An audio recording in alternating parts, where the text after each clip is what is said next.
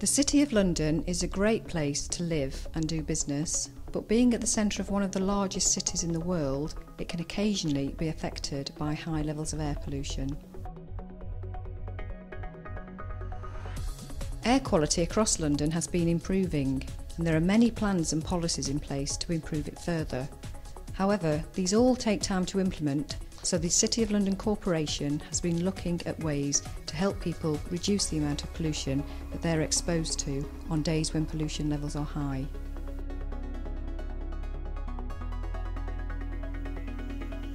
The City of London Corporation has teamed up with King's College London to develop a smartphone app called CityAir.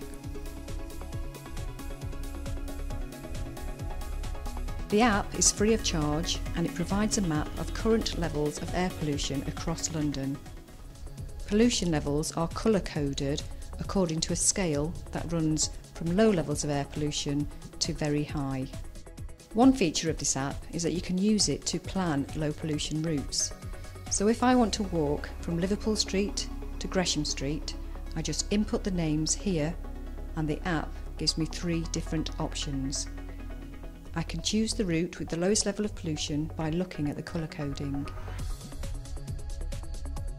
To help you with your journey, you can add the location of bus stops, train and tube stations, taxi ranks and cycle docking stations.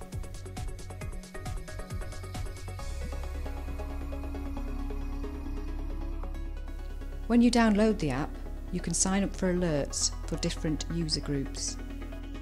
You will then receive tailored messages on how you can reduce your exposure to high pollution levels. The CityAir app is very easy to use and can be downloaded from the iTunes Store.